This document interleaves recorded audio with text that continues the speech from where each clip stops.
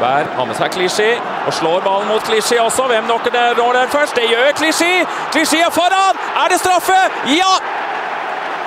Det er det! Og jeg tror ikke det er noe tvil om den. Det var en strålende ball. Klisjé løp og løp og løp.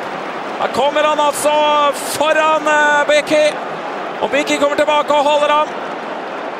Og det er kontakt og det hele. Og det er straffespark for Arsenal. Men hvem skal ta det straffesparket? Det er jeg spent på.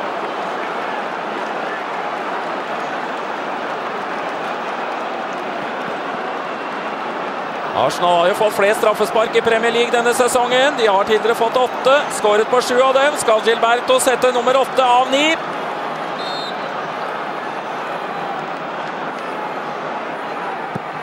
Det gjør han!